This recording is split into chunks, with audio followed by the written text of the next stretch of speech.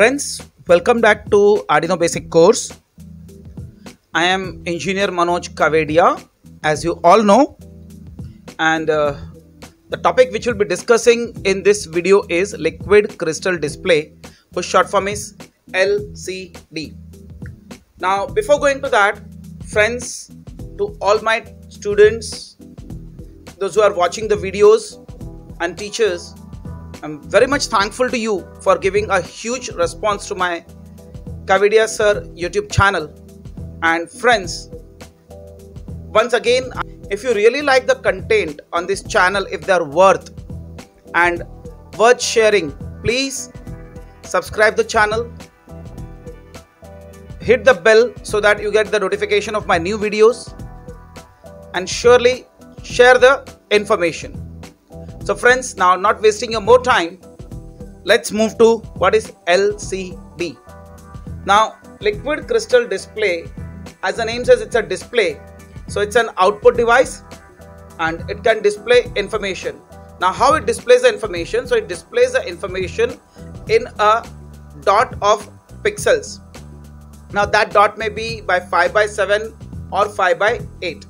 But this LCD is having two rows and 16 columns. That's why it is also called as 16 by 2 and there are multiple combinations available in this. There may be uh, 8 by 1 8 by 2 10 by 2 16 by 1 20 by 4 and so on.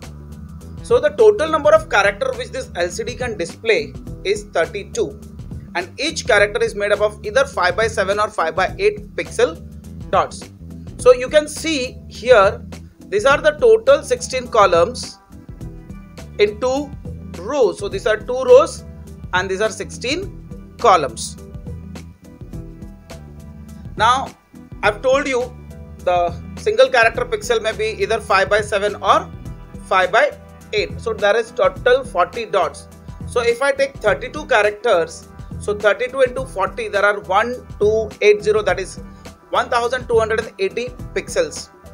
Now the LCD has a number called as HD 44780 and this LCD has got many different commands and through that command we can pass on data in different ways to this LCD. Even on this LCD I can scroll the data towards left, towards right and so on. That we'll see in the example. So friends let's see the pin diagram of LCD. Now this LCD has VSS VDD, VEE, RS that is register select, RW that is read write, E is enable, and then D0, D1, D2, D3, D4, D5, D6, and 7 and 8. That is D0 to D7. These pins are basically used for providing the data, and LED A and LED K is for controlling the brightness of the LED. So let's see what is the descriptions. VSS is the ground pin, VDD is connected to plus 5 volts and VE is connected to potentiometer which will control the brightness or the contrast of the LCD. Then there is register select which will select either the command register or the data register. It is used to select command and data register. Then the next signal is read write signal. This is uh, normally used to read or write the LCD so while writing the data, I have to ground this signal.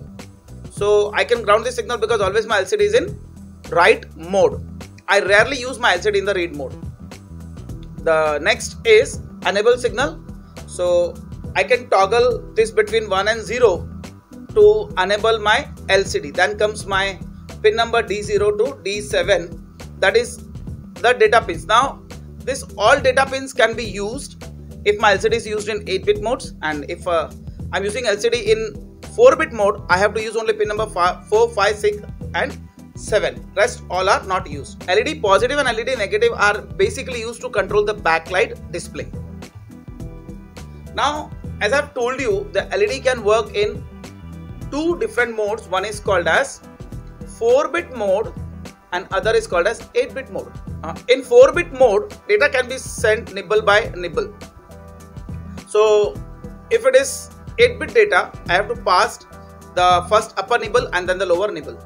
Now out of this 8 data pins D0 to D3 and D4 to D7, only D4 to D7 is used and we can pa pass all the data on that D4 to D7 in nibble by nibble mode. So in this way, I can send 8 bit of data. But D0 to D3 LCD pins are not used. You can see that in diagram. Now in 8 bit mode, I'm using all 8 bits. So the only thing is while using 8 bit modes, I need more pins to interface with Arduino.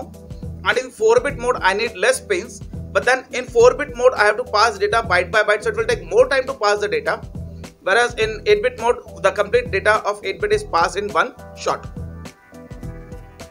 Let's see the interfacing diagram in 4-bit mode. Now in 4-bit mode D0 to D3 LCD pins you can see it is grounded whereas D4 to D7 pins are connected to the Arduino whereas register select and enable are also connected to Arduino. So this is a diagram in 4-bit mode. So in 4-bit mode, this LCD 4 pins are connected. These are for brightness controls. This is register select, this is enable and this is write signal. And this potentiometer is basically used to control the brightness of the LCD. This green color what you can see and this little bit dark color, this brightness and contrast control is done with the help of this potentiometer. So now let's see the interfacing code of 4-bit. Now very first thing before going to interfacing, uh, let me inform you one thing that uh, while using this here I have to use a header file called as liquid crystal.h. Now this liquid crystal.h will have all the functions which I need to work with LCD with Arduino. So to this function I can have 10 arguments or 6 arguments. Now 10 arguments when I'm using in 8-bit mode and 6 arguments when I'm using in 4-bit mode. Now what are these arguments? So let's see what are these arguments. To this LCD function I have to pass register select, enable D4, D5, D6, D7. So in 4-bit mode I'll pass RS, EN, D4, D5, D6 and D7. Now in setup mode what I have to do? But prior to going to setup I have to create the object of liquid crystal display that is LCD is the object of liquid crystal display class the liquid crystal class now lcd dot begin 16 by 2 so it says my lcd is of 16 columns and 2 rows. The next is set cursor to 0 comma 0 so it will set the cursor to first cell that is first row first column. That is called a 0 row and 0 column. And it will display hello world. So lcd dot print will display hello world. So in uh, setup function, I'm initializing the LCD with LCD.begin. Then I'm setting the cursor and then I'm printing hello world. Now what happens in the loop? In loop, what I do, I'll write 0, comma 1. So I'm setting the cursor to column 0 and line 1. So first parameter is a column and second parameter is line. In set cursor, first parameter is column and second parameter is line. So in the second line, it will print ER Manoj Kavedia. So on first line it will be hello world, on second line it will be ER Manoj Kavedia. But both the time the column will be 0. So I hope friends this uh, complete code is clear to you. So let's see further what is in 8-bit mode. So now in 8-bit mode what you can see is I have complete 8 pins for my interfacing same way LED plus LED minus for brightness. Register select, enable and RW. But RW as I've told you it is grounded. So at least I need 10 pins of Arduino to interface my LCD in 8 bit. So let's see the code for 8 bit. So now in 8 bit, here I am using uh, D0, D1, D2, D3, D4, D5, D6, D7 along with my RS, RW and EN. So 13, 12, 11, 10, 9, 8, 7, 6, 5, 4, 3 pins uh, of Arduino are used. Again in setup, I have to use lcd.begin 16, 2, set cursor 0, 0 and lcd.print hello world. So what this will do, this basically will set up or initialize my LCD as in the case of we have done in the case of 4-bit mode. Now the second is LCD dot set cursor 0, comma 1. and again it will print ER Manoj Kavedia. So output in both the cases will be same. But the parameters which I'm passing to my function of LCD, previous case it was 6 parameters and this time are 11 parameters. Even I can pass 10 parameters, there is no issue. But always your first parameter is RS followed by the other parameters. I hope this much is clear to you friends. So let's see further. Another thing of LCD that is how to scroll the data from left to right or towards left. So again I'm initializing the LCD. Now this time I've initialized the LCD in 4-bit mode. You can see this is 4-bit mode. Again I'm uh, initializing the LCD with 16 by 2. Now cursor first is set to 0, comma 0 and I'm displaying the message which is called as Kaizen Future Tech. So friends this Kaizen Future Tech is my startup. So all these courses or the certificates which you will get is from my startup called as Kaizen Future Tech. So the next is set the cursor to 0 comma 1. So I'll set the cursor to the second line and the 0 column and I'll print ER Manoj Kavedia. And then after a delay of 750 milliseconds, I'll write LCD dot scroll display left. So it will start shifting the data on LCD. And LCD dot set cursor 0 comma 0. So in this way, I can use multiple functions and I can have multiple outputs on LCD. So let's see what are the different functions which are available with liquid crystal class. So first is home. So it will move cursor back to the home position that is 0 comma 0. Second clear it will blank the LCD. So clear function what it will do it will blank the LCD. Then set cursor column comma row. So when I say set cursor 1 comma 4 so on the first line it will display on the fourth column. Now second is enable display. So it will enable the display. Show cursor uh, when it is set to true it will display the cursor.